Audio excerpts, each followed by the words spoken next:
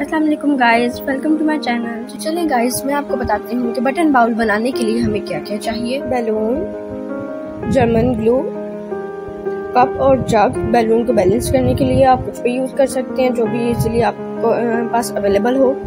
Paint brush और अगर आपके पास पेंट ब्रश नहीं है तो कोई इशू नहीं है। आप फिंगर्स भी यूज़ कर सकते हैं फिंगर से भी अप्लाई कर सकते हैं ग्लू और लास्ट में आपको चाहिए बटन्स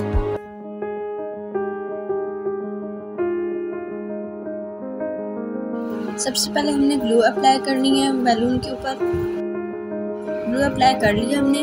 अब हम इसके ऊपर बटन लगाएँगे। और बटन लगाना हम नीचे से स्टार्ट करेंगे। ऊपर से नहीं करना, आप लोगों ने नीचे से करना और बटन बहुत ही करीब करीब लगाने हैं, ताकि इनमें गैप ना आए और ज़्यादा अच्छा बने पाओ। बटन लगा लिए हैं हमने।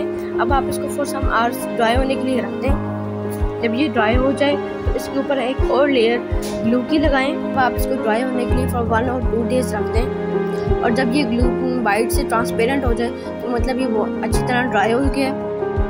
ग्लू ट्रांसपेरेंट होने के बाद आप बैलून को उतार लें मतलब बैलून सेपरेट कर लें, और आपका बाउल रेडी है।